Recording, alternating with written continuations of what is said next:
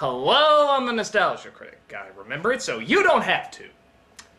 This is a story about an old man who has lost all hope in life, all because of his misguided faith in a simple engine. However, with the help of his granddaughter and the courage of a small town, he may be able to find that special magic to make his engine run once more. Academy Award nominee Peter Fonda, Academy Award nominee Alec Baldwin, most adorable Smile Award Mara Wilson. Really? That annoying Mrs. Doubtfire kid? Um, okay. And making his film debut, Thomas the Tank Engine. Okay, Whose joke is this? Come on, come on, where's the real summary? Come on, I mean, there is no way that Thomas the Tank Engine is in a Peter Fonda and Alec Baldwin movie. See, I'm right. Peter Fonda and Alec Baldwin are in a Thomas the Tank Engine movie? What? Trust me, most of America was as shocked as you are. What the hell are these two big dramatic actors doing in something as brainless as Thomas the Tank Engine? I mean, it's not that it's a kid's film, hell, a Disney movie or a Pixar movie or something of substance would make more sense, but it's Thomas the fucking Tank Engine! The show PBS puts on when Clifford the dog is too intimidating. But does it all come together? It's Thomas the fucking Tank! Let's take a look. Meet Thomas. He's our number one hero. Hello! So immediately, you're hoping Mr. Rogers' trolley comes in and kicks the oiled asses out of these characters, but unfortunately, we're not so lucky. We do, however, see our first problem with this film. Seven, eight. Who do we appreciate? Practicing your numbers, Gordon. I'm counting how many seconds late you are. The mouths don't move! And it's fucking creepy! I mean, I understand on the show because it looks like they have a budget that makes Gumby look like Studio Ghibli, but come on, you got Peter Fonda in this! You don't want Peter Fonda to think you're this goddamn lazy, do you? You got enough facial expressions in your library, but you can't come up with one motor to go inside the character's lips to make it move up and down? Come on, I can do better. Watch! Say, Gordon, I was just wondering why we live in a town called Sodor. Is that a retirement home for Lord of the Ring villains? I'm just trying to put together how we procreate. I mean, do trains have sperm? Goodness gracious me. That's somehow still less creepy than what you're doing! So we're introduced to a place called Shining Time, where the humans are just as lifeless as the trains. They even have their own obnoxiously fat, profanity-laced Tinkerbell played by Alec Baldwin, who's going to sing to us about the town. This is your shining time. Climbing through stars to your own cloud nine. Here's our generic song. It sounds like hundreds of other songs. Things are always nice in this song. That's why no one remembers it. Generic song, generic song. Some jackass wrote this in his sleep. Generic song, generic songs. It shuts up your kids so you can't complain. And by the way, I think that you're going to help me and Thomas somewhere in this story. Um, okay. Are you gonna fill us in on that at all? That's kind of a lot of pressure to throw on a little kid and then suddenly not go into any detail. How would you like it if Barney the dinosaur in the middle of a song said, I love you, you love me. Some shit's going down. Be ready for it.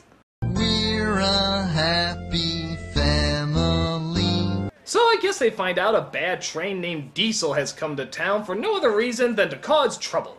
I've come back to find a lost steam engine. What? I'm gonna destroy her and dominate you. Whoa! Keep it in the bedroom, Diesel!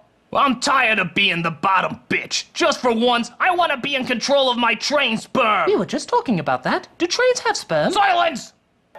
There, Mutt. Paint job's finished. I reckon Shining Time is the best welcome sign of any town in our valley. Well, I'm glad you agree. Wow, kid, you gotta start seeing some girls. You hear that train whistle sooner than it hears itself. Well, all that excitement gets him working his way up to Muffle Mountain. where Peter Fonda plays the owner of a tank engine he's named Lady, whom we heard about earlier. Long ago, I made a mistake as Lady's caretaker. An evil diesel found Lady and threatened to destroy her. He chased her, used up all her coal, and then he crashed her. I tried my best to fix her up, but I've never been able to make up for the mistake I made. Okay, Peter, I'm just gonna tell you right now, you're trying way too hard here. This isn't Ulee's gold, it's Thomas the fucking tank engine! I don't usually say this, but we'd understand if you don't put your all into it. I mean, why can't you be more like, It is a very important day. Well, maybe not like this. Yes, if Peter Fonda is too miserable in this movie, then Alec Baldwin is far too happy. He plays Mr. Conductor. Think Bob the Builder's lobotomized grandpa, and you'll have a pretty good idea what he's like. Stacy, where did you find this painting? In an old locker. Uh, no, lady. The proper response is, Ah! Demon, demon, ah! This place looks like the island of Sodor, but how would Burnett Stone travel there without gold dust? I guess he travels back and forth between Shining Time and Sodor, and that's why people aren't pissing themselves with terror whenever he arrives. But what's so weird about it is that there's nothing really magical about Sodor except for the fact that the trains talk. Wouldn't it make more sense just to have it all take place in one world? Why not just have a world where trains talk and that's it? Why have the real world in it at all? Hey, would you like to go to the magical land of Corridor? I sure would! Looks just like the real world. What's so magical about it? Well, that mask over there can smell garlic chicken spring rolls.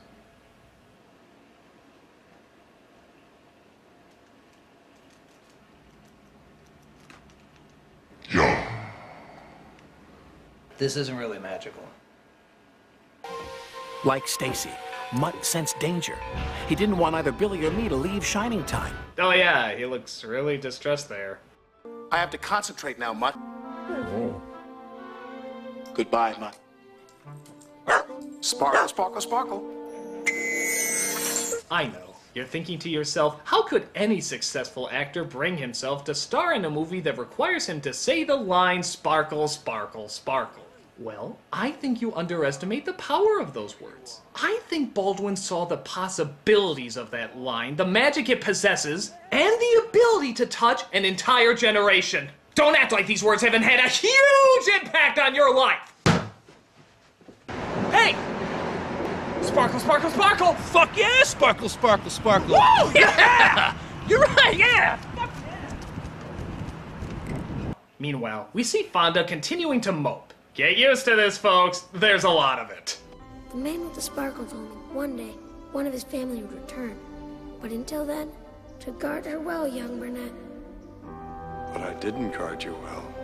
For God's sake, lighten up! It's Thomas the fucking tank engine! Save it for a movie that deserves it! Like 310 to Yuma or The Limey! Even Ghost Rider deserves more energy than this! I just don't seem to understand about about magic anymore.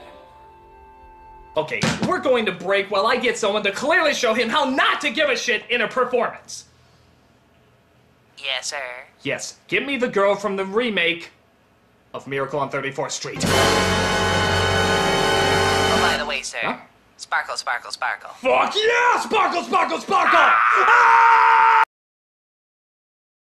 Here we go, Fonda. This is the proper performance to give in this movie. Mara Wilson. Clearly going through puberty, clearly at the age where she's embarrassed to be seen in this piece of crap, and clearly just doing this to pay off her future student loans. Watch this performance and tell me if at any moment she looks invested. Grandpa's been so sad since Grandma Tasha died. Did you get his present? Here. I'm making him a friendship bracelet, Awkward expression, Honey, that's beautiful. Don't know how or where to look, but I'd rather just stay here with you. no commitment whatsoever. I know. Come here. Give the same uncomfortable hug you'd give a Chuck E. Cheese animatronic, I'm gonna go up this way. Okay. and leave the actress you obviously just met today. You see, Fonda? That's what we're expecting. Learn from the master. She clearly doesn't give a crap. So we find out a little bit more about that lady engine and why Diesel wants to destroy her so much. Diesel knows that the lost engine in the legend really exists. What legend? Of an engine whose magic makes her more powerful than Diesel will ever be. That's why he wants to find her. By the way, you notice something seriously lacking in Thomas the Tank Engine? Yeah, Thomas the Tank Engine! He's barely in this! He shows up, smiles, and then we cut to either overacting, underacting, or good god, it's Thomas the fucking Tank Engine acting! Oh well, maybe Baldwin can bring some balance back to this flick, as he stands here completely alone and yet talks to himself. So who dropped the ball then? Oh, there you are. I'd like to have a nice cup of hot cocoa. Would you fellas care to join me? No? What would you rather do instead? Go outside and play? Well, I can understand that. What do you think? Why do you keep hitting him like that? You're gonna have to have a timeout. Oh, 30 Rock, please give him a career. I'm sure he'll gladly sacrifice his thin physique and black hair if you only give him a hit show. But Diesel arrives as Baldwin discovers he suddenly can't use his sparkle, sparkle, sparkle. Losing your sparkle, huh? All we can do is hold our blowjob faces. Uh, what is that? That's right, it's sugar, Diesel. And if I throw this in your tank, it'll seize you up for good. Wait, so sugar is the big kryptonite in this world? Well, why doesn't he just carry a packet of Splenda around all the time then? Or help, if the magic dust is so magical, can't he just bring a normal sized person into the world? There'll be a giant there! So, where's Dad? Think, people! Think! My family never really told me what to do in a gold dust crisis. They only said if you can't remember the clue, the windmill will remind you. But where is the windmill? So he tries to figure out his sparkle impotency, but thankfully, hope comes in the form of Haley Joel Osment in a wig. I suppose you know where track three is, do you? Is it that one? Well, why not? What the hell could go wrong? Just getting on a train that could go anywhere that I was advised by a dog to board. It's not like it could lead to another crazy Alec Baldwin breakdown. I notice you left your thinking cap behind. Try these instead. They're good for the brain.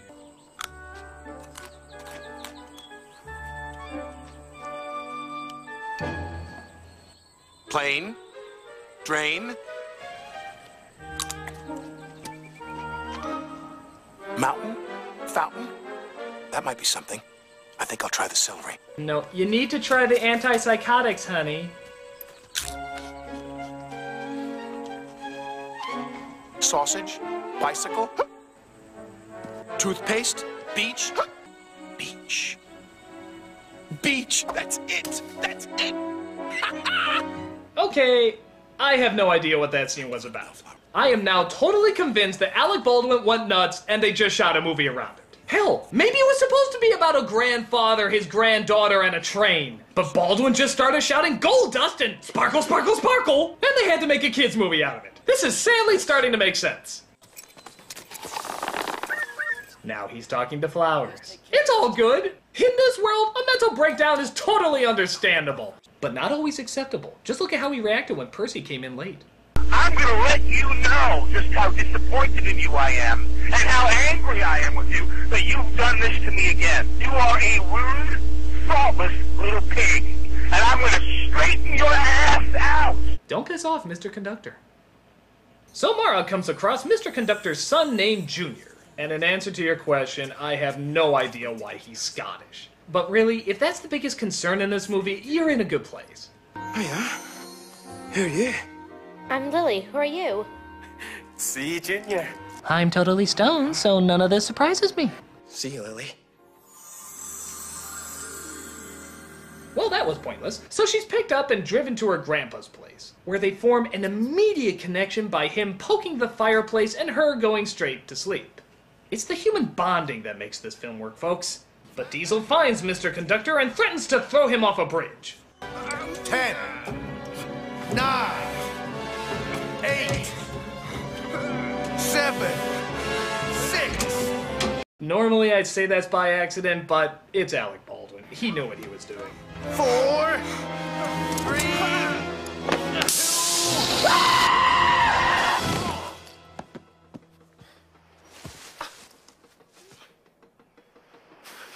Did you put all this here for me? But you must have known that I was coming. How kind of you.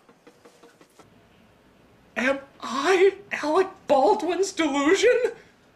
Is this all Alec Baldwin's delusion?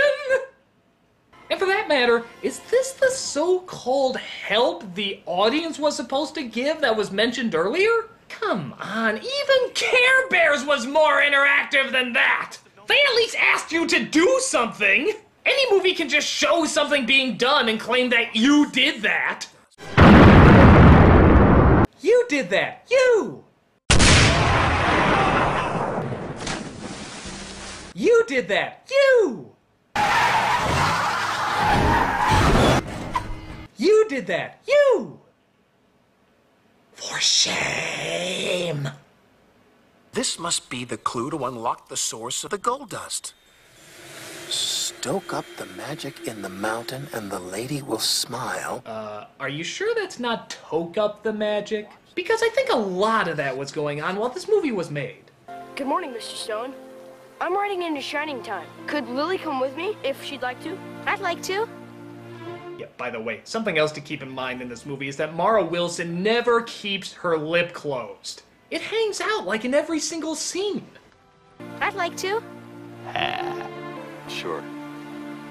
She can go. Well, lady, what are we to do? It all seemed so much easier when Tasha and I were children.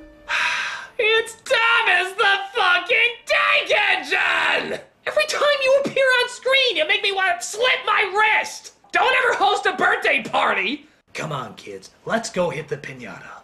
Oh, the pinata is dead and you killed him.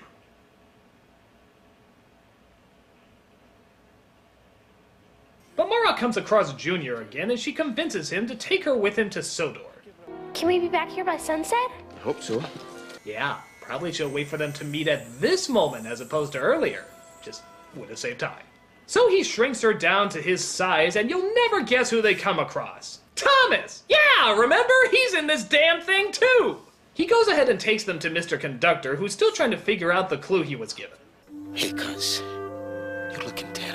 Wait, are they father and son or cousins? He calls him Junior, yet he's constantly saying cuz. Junior, I want you to listen to me and I want you to listen to me very carefully. This is his cousin.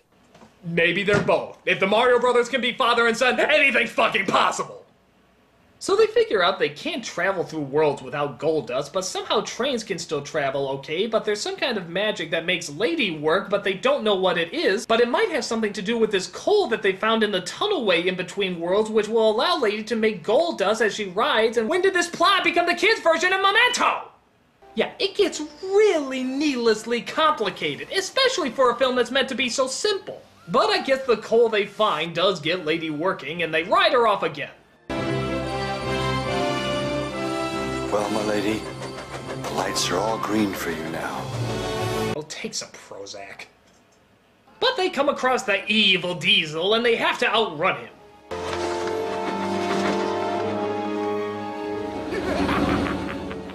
Ah! Up, he just sobered up and realized the movie he was in. She's part of the clue to the source of the gold dust! Now I'll get you, Burnett Stone. No, you won't, because the magic you refuse to believe in will get the better of you.